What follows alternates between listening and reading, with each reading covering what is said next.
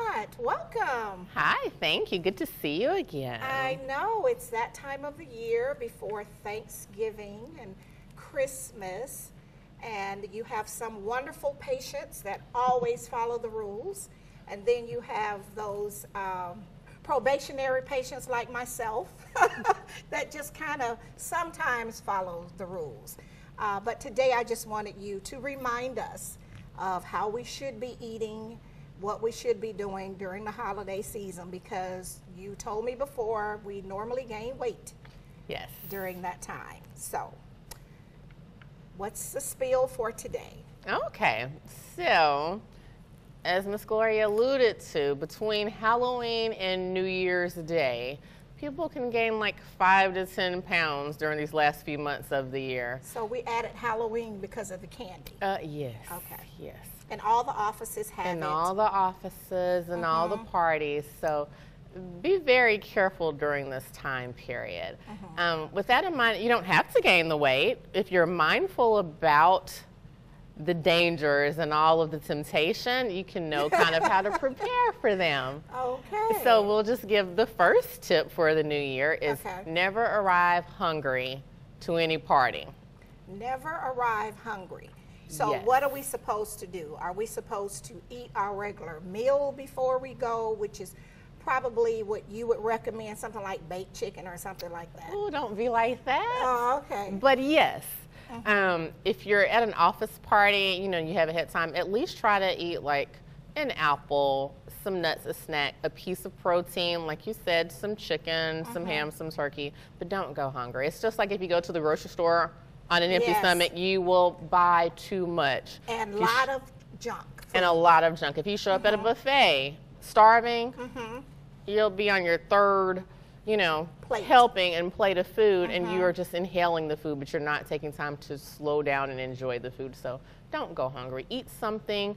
Always remember from last year, drink your full cup or glass of water prior to any meal, and start from there. So, we have to drink. Now, see, we were trained, which that doesn't make it right. You eat your food and then you drink. Remember, we couldn't, which you probably don't know about this, you couldn't have Kool Aid, which was the going thing.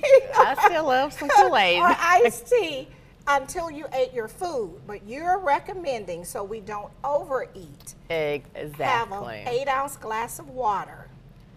as much as you can, a full glass. So 8, 10, 12. 12. Then you won't have Mm-hmm. room for the food. Good. Oh, but then later you're going to be hungry and you're going to overeat. No, not Okay. necessarily true. All right. So your stomach is still a finite amount of space. It's Mm-hmm. like this. If we fill it up half with water, and then you start with your protein first, your meat, whatever that is, then Mm-hmm. your vegetables, and then those side items that tend to add all the extra calories and the sugar, like that dressing, like the macaroni and cheese, cheese. like the sweet potato souffle, which is my personal Right. weakness. So we have to drink the water first. Yes. Eight to 12 ounces. Mm-hmm. Then you want me to just eat the meat, Meat, eat meat first. The meat first. Protein is amazingly important. but not the meat with the dressing. The meat first. Meat first, Then the vegetables. then your veggie. And then the starch. Right, and remember from last year, Mm-hmm. when you're eating the things that we know are probably the taboo, the the dressing, Mm-hmm. all that fried stuff, that mashed potatoes and macaroni and cheese With gravy. with gravy, Mm-hmm. three fork or spoonfuls. Three or four spoonfuls. Mm, Three forks or spoonfuls worth Only. only. What? Mm-hmm. Three forks again this year. We didn't graduate to four. Well, I actually know someone that really practiced that. You know, they'll eat like Good. So that way you're not depriving yourself. Mm-hmm. You're merely tasting those things that you wanted, but you're not overdoing it. So you're still going to look amazing at the end of your holiday season, Mm-hmm. where the rest of your friends have got to go buy new clothes. Well, that's true. Or all of these extra undergarments. Yes, You ma'am. know, with the Spanx All these and the- and- and, the long line bras and, and all of that. Yes, ma'am. Okay. So you have these pretend recipes because you keep trying to convince me of these other substitute items. Uh, the cauliflower rice, you say, is as good as the whole grain rice. Well, let me be clear. It's different. Okay. So I'll just speak about the holiday. So two, three years ago, mm-hmm. instead of because I like dressing, I do. I love turkey and dressing. Okay. It doesn't love me. The bread is not amazing. So there is a recipe out there. I should have brought you the recipe. So it's a cauliflower sausage casserole that's in the place of dressing. It's amazing. In the pl- you are It's from so Atlanta. There are no substitutes for cornbread dressing. But it's so good. Okay. It's like 10 grams of carbs and like the 40 that comes with your standard turkey and dressing. So it just depends on did you just want it just because it's dressing or do you want something that's filling, amazing, and healthy for you? Just decide what you want. I Okay. personally don't want to gain sizes, so do I want to look good or do I want to feel good? Because looking and feel good are the same thing.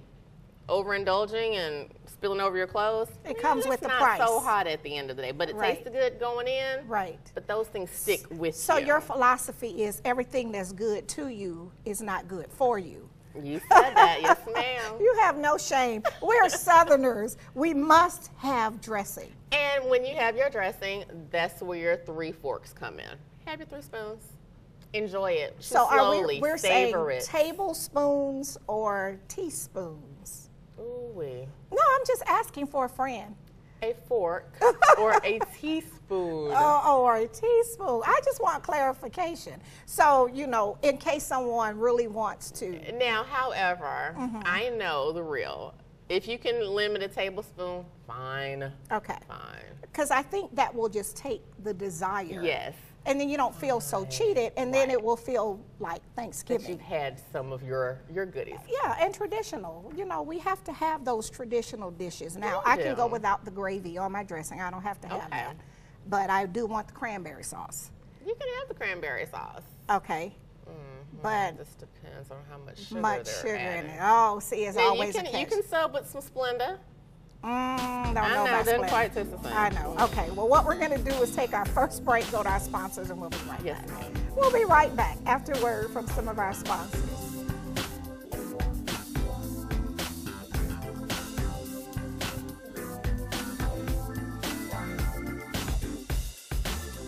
Straightforward is brought to you by Chalk by Quincy introduces Excellence Redefined, timepieces of the finest technology, luxury, and class with tons of style at chalklifestyle.com. Renal Associates LLC, a team of physicians dedicated to excellent kidney care with five convenient locations to serve you. Stark Avenue, Columbus, Bradley Park Drive, Columbus, Lafayette Parkway, LaGrange, West Washington Street, Eufaula, and Spring Street in Warm Springs. Vanessa Jackson's District 3 Successful Scholars Program, supporting students in achieving academic excellence, outstanding citizenship, positive social and cultural growth, believing in success for kids. Dr. Sheikha Shaw Family Medicine, connecting your health to your future.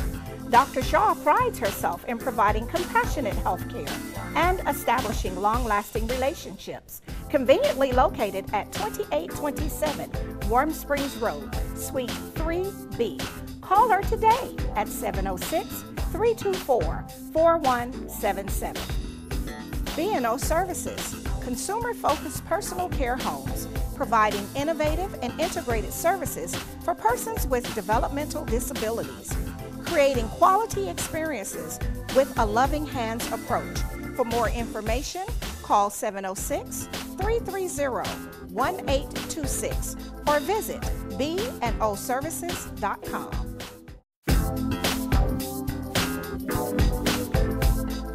And welcome back to Straightforward. We have our awesome Dr. B. Blount, certified in bariatrics, which is weight loss, family physician, here to give us all of those rules and tips we need to survive the holiday season. Yes, ma'am. This is that annual visit. Yes. And so you're going to make us feel guilty in advance. So I'm going to go on and get mine over with. So on Thanksgiving Day, when I have some of those taboo things, as you call them, Yes. then I can say she really told me. I can't plead ignorance. Okay. So before we went to the break, you were talking about how we can substitute some of the sugar and use Yes. Splenda. So what are some of the other? Because the artificial stuff. So the So what about dates? Can you use dates or guava or something like that? So you can use dates as a sweetener. Mm-hmm. I don't like them, but you can do that as a substitute sometimes for um, some of the other sugars. Some people will Mm-hmm. grind up dates. Um, you can use banana puree and applesauce in the place of some of the butter Applesauce in the place of butter. or eggs. So what, where, where would we It's be putting the applesauce? What would we use that in? Certainly not in sweet potato casserole. No, no, no. Like if you're doing a, a baked dish. Mm-hmm. Um, what was the last time I used applesauce? Like peach cobbler. No, not a cobbler, but if you're, um, gosh, I haven't had it in so long. Mm-hmm. Um, but it can be a butter substitute. And watching the heavy creams and switching it out for half and half as a substitute. You know, grilling, baking instead of frying. Like, I know we like our fried turkeys, but okay, people, let's go back old school. Let's put your turkey in the oven. It's okay. Like, we don't have to have fried turkey. But do we baste it with the butter? Or are we just going to use salt and pepper and that and just let it go plain? I'm just asking. Well, I'll use butter. oh, really? But you can cut it in half. Okay, all yeah, right. I'll use butter. It's a ton of calories, but it's, it's But that's better you than don't want it to be dry. Okay, and it's Yeah. better than the frying. And it's better than frying. Okay. Absolutely. So, what about the desserts?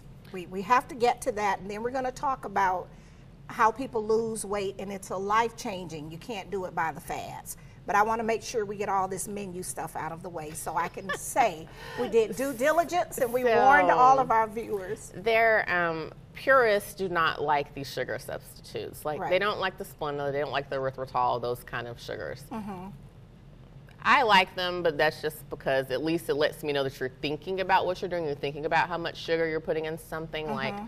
last year for my sweet potato souffle, which I love, it's my favorite thing. But to take out some of the calories, I used a can of pumpkin puree instead of all of my sweet potato, and I did a cup of Splenda with a cup of brown sugar.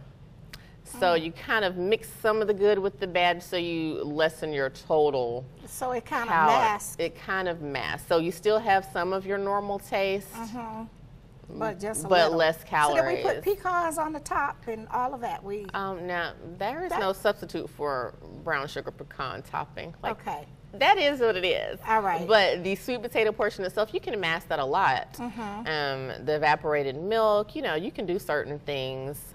Um, even they have butter that's the it's half calorie butter. It's weird because a whole stick of butter is like 800 calories. So they do have some that's half the calories, but it's still real and butter. then some that's no salt and all of that. Well, I mean, the no salt is fine, but that calories, like a whole Mm-hmm. 800 calories, and most of our real good desserts call for two and three sticks of butters at 800 calories Right. per stick. So if you can have a stick of butter that's only 400 calories, wonderful. So just kind of pay attention um, to substitute your sour cream and those kind of things for natural yogurt will save you on calories and carbs and it's a healthier protein so there are a lot of little So things what that about eggs? try There's this one cake. Oh Lord, and it's like nine eggs and oh, that's the best pound cake in the world. No, really. You know, I had a cousin that used to make that. It's like a all that butter and nine eggs and you could just smell it. Well. I will say from personal experience, Mm-hmm. you cannot mess with the pound cake recipe. Okay. There are no substitutes for pound cake. If you're going to make a pound cake and have it nice and moist, sorry. Mm-hmm. Okay. Each calories. so you just have to That's not one you thin can sub. slice. Yes. Okay. Now with your um, like pecan pie, because I'll do my eggs for that. I can do an egg substitute, Mm-hmm. but I'll do two egg substitute and two real. So you can kind of switch some things out that you're not that you do not need that light fluffy texture. Now, pecan pie is very sweet. So what are you using that substitute sugar for that? so you know, I'll when I go in Publix and I see sugar-free Yeah. peach cobbler pie or whatever that is, apple pie, I look at it because it's funny. Really, if you're gonna have a peach cobbler and you live in Georgia, it needs to be a peach cobbler. It does. Unless you're you diabetic, it, unless you- you're diabetic. Right, in which case the peach cobblers that I've had made with Splenda, mm-hmm. they're actually a lot better than you would think. And Breyers makes a low carb ice cream, which is much better than you would think. So for the holidays, look for your low carb ice creams. They do not taste bad at all. They do not leave an aftertaste. That's my concern, the aftertaste. they don't leave an aftertaste. So- the good ones, not the cheap ones, but a Right. Breyers, like a name brand. Mm-hmm. They're pretty good. So you could have the a la mode Yes. if you have the sugar-free peach One scoop, and one scoop. fourth a cup or half a cup. Okay. So we have to make sure the scoop is the correct size Yes. and not the big kind that Not Brewster's has. no, okay. All right. So what other food tips? Let's let's recap those because in the last segment I want you to talk about not starving your body, putting it into starvation mode. No, really, because Right. I know people that are constantly dieting. They've Yes. had the cabbage soup diet. They've had um, the slim fast. You know, all of that, and then they always end up gaining, Gaining the the weight weight and back. then more. Right. Right. So, any other food tips? We're going to drink the water. Yes. The eight to twelve ounces. Drink your water prior to your meal. Okay. Don't show up hungry at your parties. Okay. Um, another thing that's very helpful as far as party going and visiting friends and family, Mm-hmm. um, don't just accept what they're going to serve you. Mm-hmm. Be proactive and bring your own healthy dish with you to your party. So at least you know that the one thing that you brought, Mm-hmm. you can share your healthy food subs with your friends and family so they can try to be healthy too. At least you know so you have one to thing that you a can eat. controversy. No, You you're know being how a great guest. You're bring. Look, I brought you this fabulous casserole. I know, right? That is something they would certainly be talking about in the new year. Like, can you believe? You know, we're Southerners, so I'm So you saying, should. Don't show up empty-handed. So look, you're showing up with something. Okay. All right. Fruit tray, veggie tray, something that you can Okay, snack like a veggie tray or something. yeah, something. it doesn't Okay. have to be. You're not trying to show somebody out, but you want to make sure that at least the one thing you bring to the meal, Right. you have something that you can eat that is not going to derail your goals. Your goals may not be someone else's goals. Okay. But take care of yourself first. Okay, and we don't want to offend people, so we'll just bring a relish We- tray or something like that. Okay. All right then. Well, what we're going to do now, Dr. B, we're going to take our final break, go to our sponsors, and we'll be right back. Yes, ma'am. All right. We'll be right back with a word from some of our sponsors.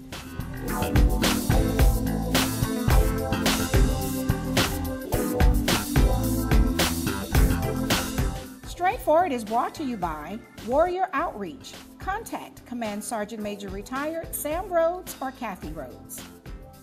The Hugel Foundation, enriching the community through Christian music support, community outreach, and the Georgia Through Photography Project. For more information, call B at 706 568 6431. Progressive Funeral Home, family owned and operated since 1952. The George Ford legacy of high standards continues today in the compassionate and professional services provided. A touch of dignity for those who care. Progressive Funeral Home, 4235 St. Mary's Road, trusted by generations. Best Care, transforming minds and bodies, leading the way in the latest techniques of medical weight loss and wellness. Certified in family medicine and bariatrics, Dr. Blount is ready to assist in the transformation of your mind and body. Call today 706 221 6477 or visit bestcarecolumbus.com. East Alabama Endocrinology, educating and caring for those living with diabetes in Alabama and Georgia. 1400 Bradley Lake Boulevard, 3320 Skyway Drive, Suite 602, Opelika. Take charge of diabetes and live your best life. State Senator Ed Harbison, serving the citizens of Georgia's 15th Senatorial District and on the front line for veterans every day. And welcome back to Straightforward. I'm having a wonderful visit with our expert weight loss doctor, Dr. B. Blount. It's always exciting when you come because you know I'm a non compliant patient ah. And um, you work very hard trying to redirect me. And uh, my failures are my own, I own them. At least I don't pretend to you that I'm following the rules. Yes, no need to lie. The scale won't lie. I know, right? Ooh, that scale is serious. It will tell the truth. It will tell the yeah. truth. So, let's get in all of those wonderful tips.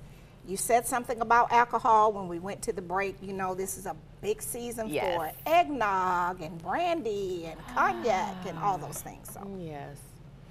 So, liquid calories get you in trouble. ah, They absolutely do because they add a ton of calories and absolutely no nutritional value whatsoever. so can you drink and gain weight too?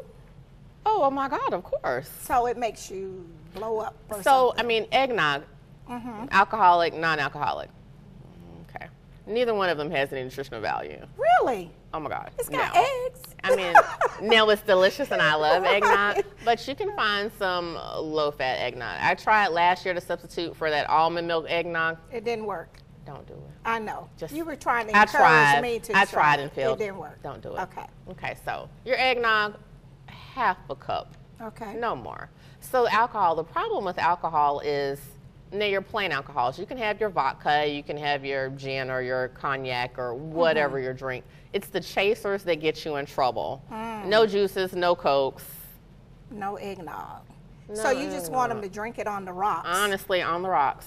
Oh. The rocks. All right. Those are big girl drinks. Okay, so those are get your big girl panties on. Okay. because it's the chasers that get you in trouble. Now, if you're able to do, Mm-hmm. um, actually, I think the commercial they have with LeBron, that um, diet cranberry Sprite, is good with some vodka. Okay. Has you had no calories and no carbs. Those kind of things are fine. Um, Coke Zeros, Sprite Zeros, those can be your chasers, but just not the Long Island teas with all this orange juice and all these juices and the mixers Mm. get you. And the other problem with alcohol is that once you're a little tipsy or drunk, you lose your inhibitions. So you're just eating and talking and laughing. You're no longer aware that Right. you're on You're snacking. slice of cake number five because Right. you've lost your inhibitions. So Right. Mm-hmm. that's another way that the alcohol consumption Or just a little bit more of the macaroni and cheese. just a lot more of that. So you kind of lose track of Yeah, what, you're, what you're doing. doing. So that's another way that alcohol in and of itself can get you in trouble during the holidays. Now, I really have to address this. Yes, ma'am.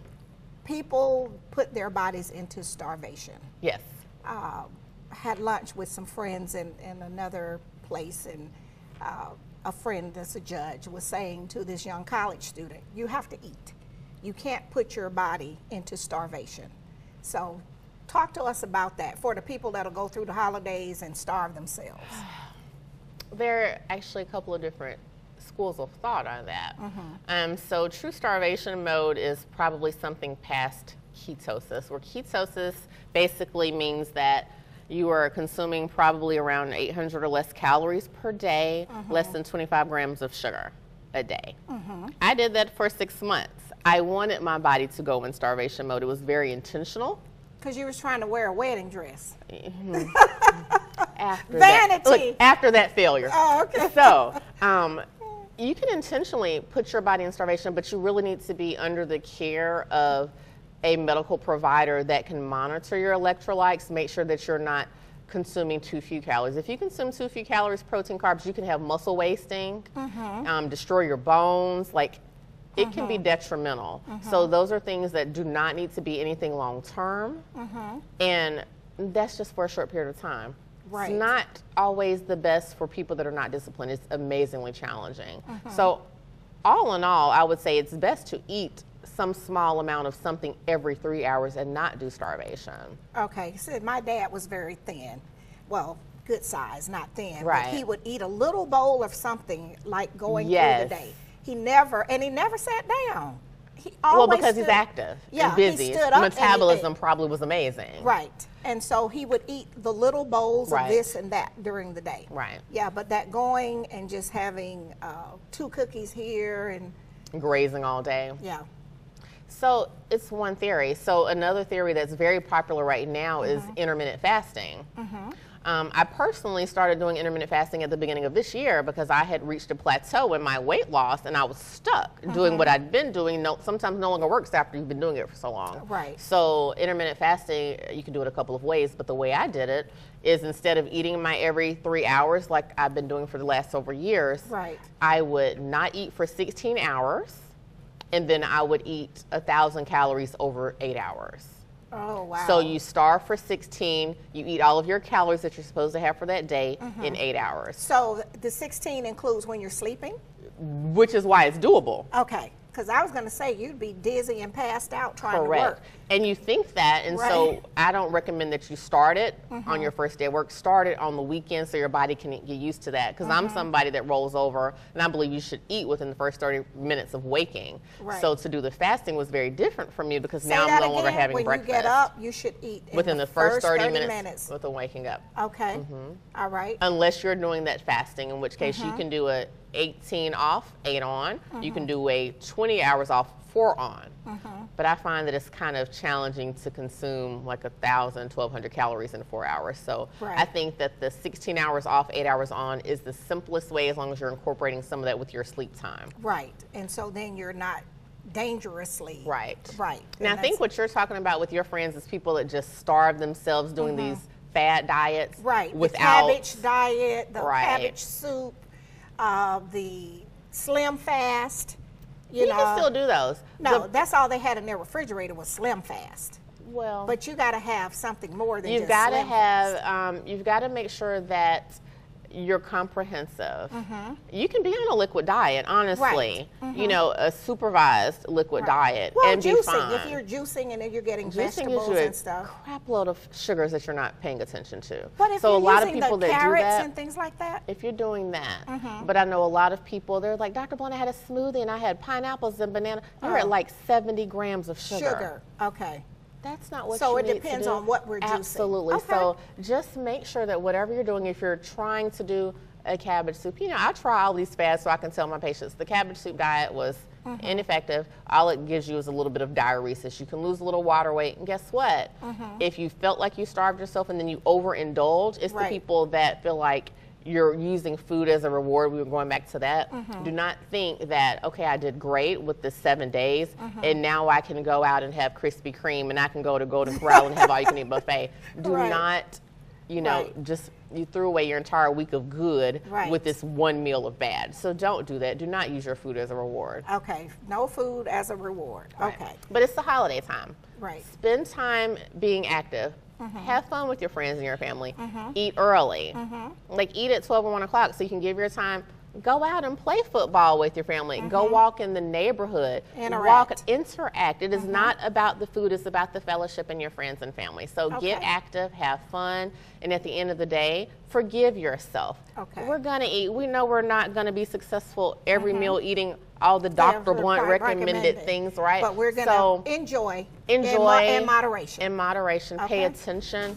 Weigh yourself once a week during this time. If you see you gain two pounds Mm-hmm. from Sunday to Sunday, guess what this means? The next week or two, You got to cut back. Okay. Well, we'll have you back in the new year and see how we survive. yes, ma'am. All right. Thank you so much. Thank you. This has been straightforward. If you don't stand for something, you will fall for anything. Until next time, be blessed one.